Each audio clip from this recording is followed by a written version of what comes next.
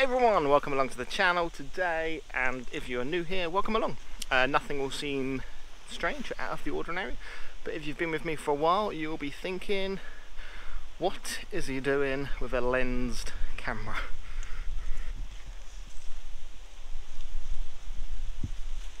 So for the last 17 months I have devoted my photography to pinhole photography and I had every intention of continuing that today However, during the week, I dug this thing out.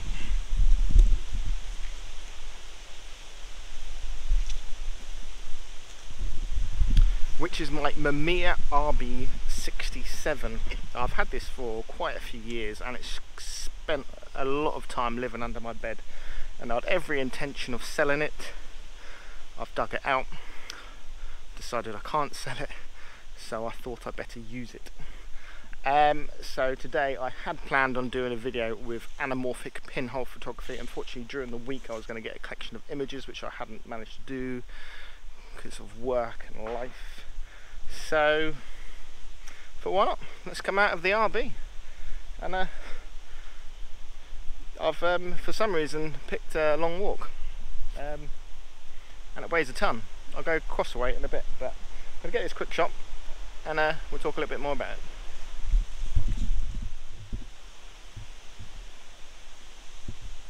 So the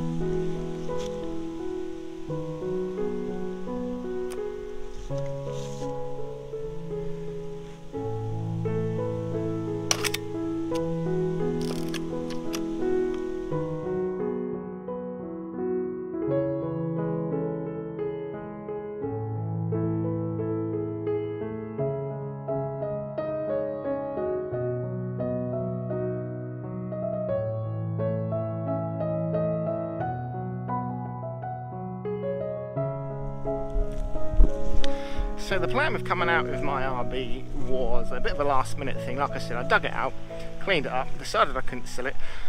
Didn't have the photos ready for what I wanted. I think I've got to go that way, I don't know. Um, with the anamorphic pinhole camera. Uh, so decided to bring this out. Uh, I'd planned on parking on the top of the downs at a, a Pacific spot where I knew I could get a certain photos on a certain little trail. Uh, but unfortunately I couldn't gain access to that from two different points so I've had to basically come somewhere I've never been before.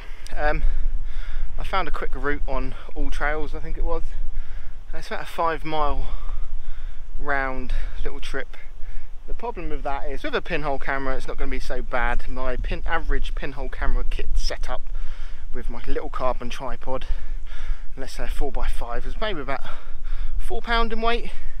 This thing with my heavier duty tripod and the geared head comes in about 13 pound. Um, using this thing is suffering for your art but from what I remember the images are fantastic out of it. I've got three lenses with me uh, one back with um, Fomapan 100 in which I'll be shooting at 400 and uh, yeah, we'll go through it a little bit as we go along and uh, hopefully I don't die or break my back along the way.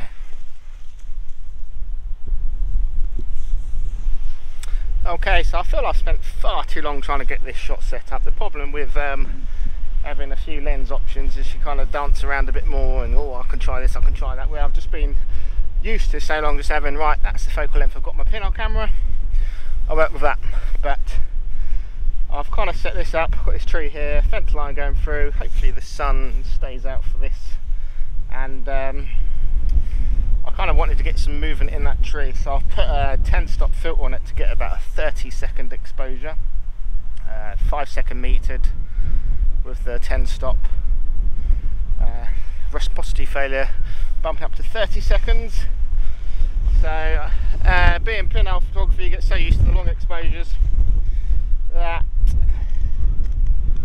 that's what I like.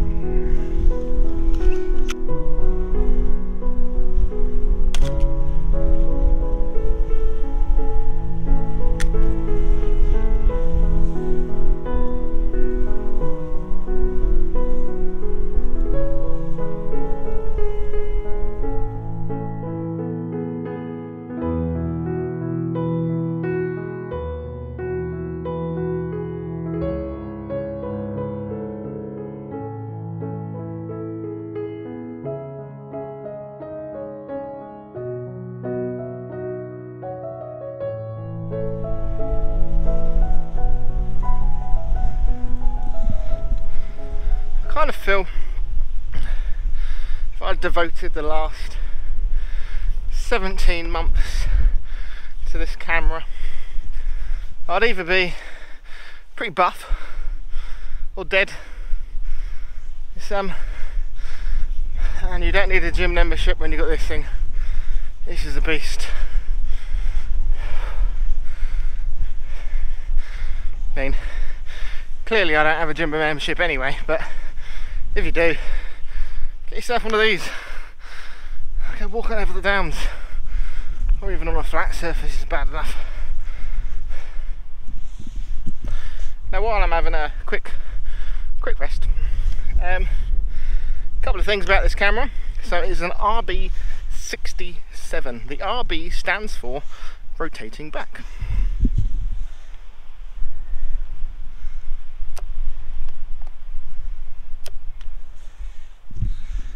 So in there is your film.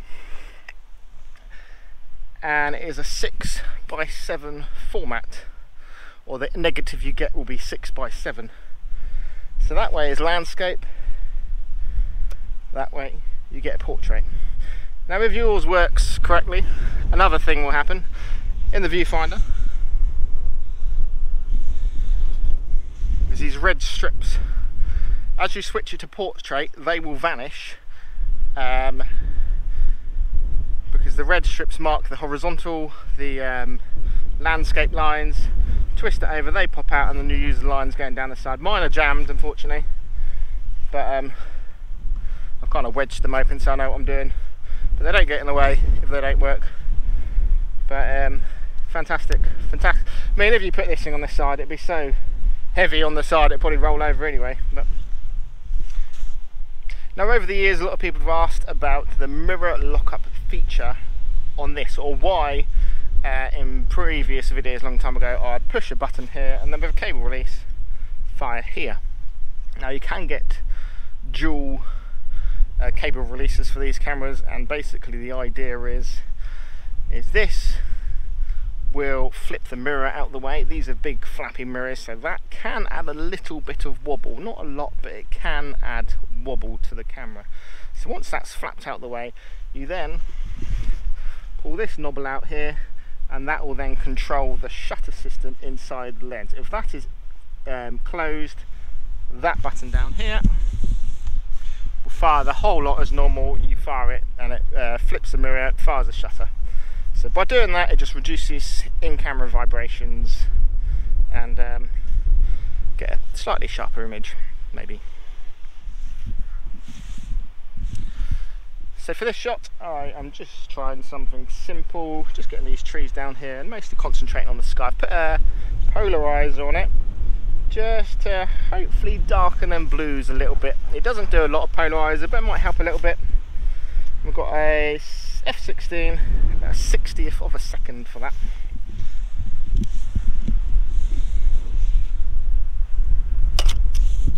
So that would have flipped the mirror out of the way. And then that fires the shutter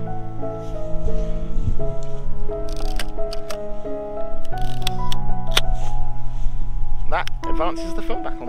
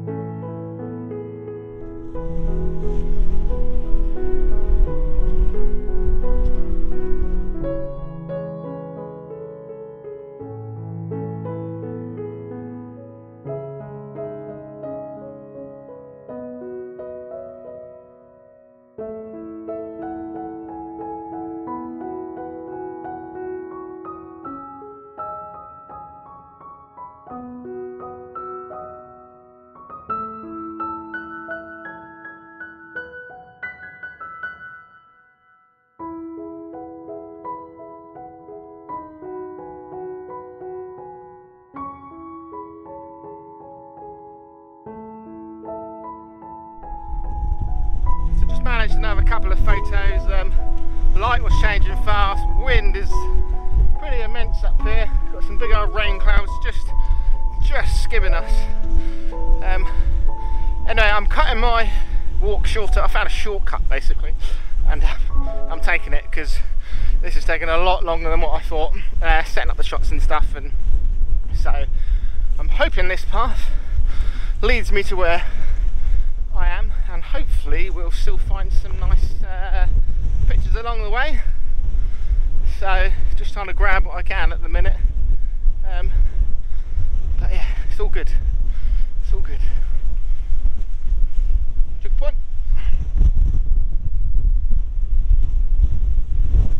Quick one with the fence line vanishing off into the distance. I've got 60th of a second at f22.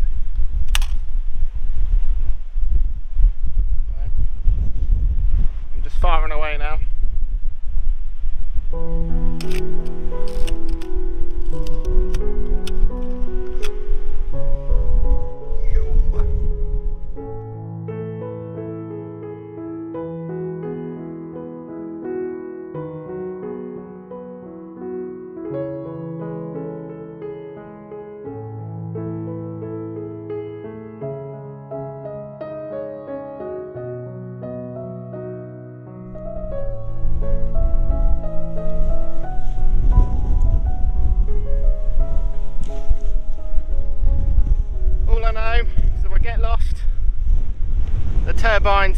There on their home. So I'll head to them and I'll find the car later on. But certainly a beautiful view up here.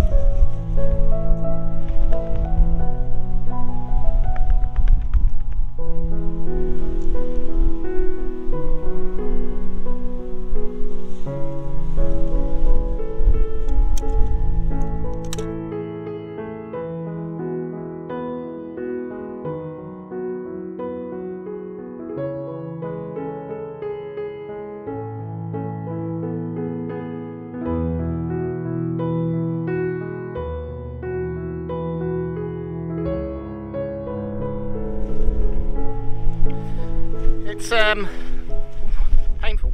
Nice to think differently with your photography anyway. I'm so used to with a pinhole camera to thinking about what's more up close and not what's kind of you know if I did a shot like that with a pinhole camera everything out there would kind of be so out of focus it wouldn't really make much difference but with this I know I could shoot it um, at a shallower depth of field and blur that out but it's quite nice to uh, think differently. It's easy to kind of get stuck in a set way of thinking and a set routine so as much as it has been nice to be out with this it is killing me a little bit I'm gonna lie. I'll keep it more for the uh, shorter walk days and um, easier easier routes. This is a bit of a killer I'm not gonna lie but it would be certainly a lovely uh, some lovely pinhole photo opportunities up here. So I'll be doing this again with my pinhole camera. But I think my uh, shortcut's paying off actually. I think I think I just got to go down there. I recognise the field. So we'll see. I've still got a couple more photos. I think I'm on oh, eight. And this takes 10 eight, nine, ten. three more so so I can get before I get back to the car before this rain cloud hits me and uh, hopefully it would have been worth it.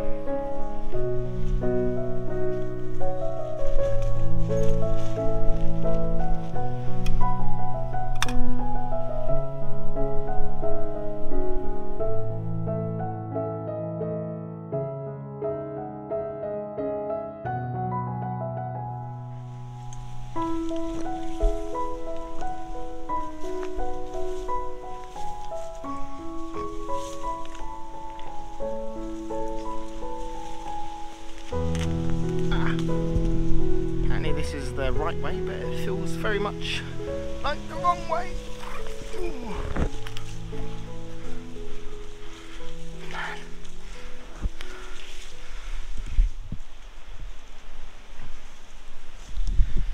This is certainly not a well used path. Um, oh, I've almost slipped over several times with this thing.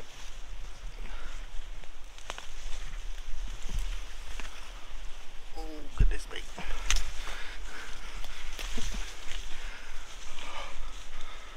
Man, man, man. Oh, thank goodness for that.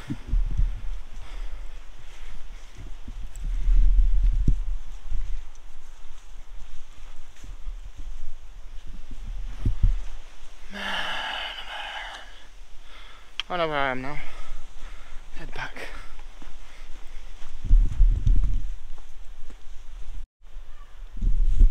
So I came across this tree earlier actually, because uh, this is where I came. thought that is quite a nice tree. So I'm going to try a quick photo. Unfortunately got no light on it. So that's not the best. Could do with a bit of, maybe in the morning, have to come up in the morning when the sun's over there. Try, try a quick shot. Got Got an F8 with uh, one fourth of a second.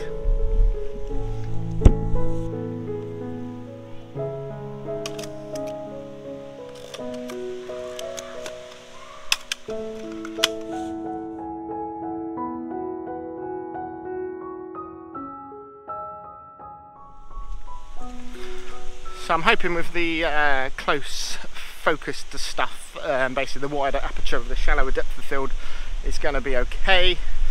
Uh, I'm, I'm meant to wear glasses, so they would be perfect for a time like that. With their pinhole camera, I obviously don't need them because I don't have a viewfinder. You can kind of just visually see what you're getting in your image, but when you're trying to concentrate on them fine, fine uh, focus details, uh, they probably help a lot. So I'll uh, have to remember them next time. Anyway, I'm had a weather warning on my phone. Apparently another big batch of rains due to come in a minute, but we've got a bit of sunshine. Hopefully before that hits. So I've got one more photo. The car's not too far away, so I'm gonna see if I can find one more. And that'll be it. We'll wrap this up we'll see how we got on.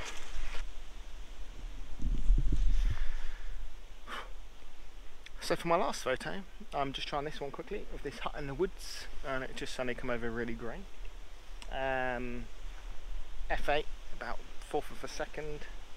No about a second at f8 um, I can't actually see this or whether it's in focus or not. Kind of looks out of focus but that might be my eyes. Anyway I'm going to try it finish this up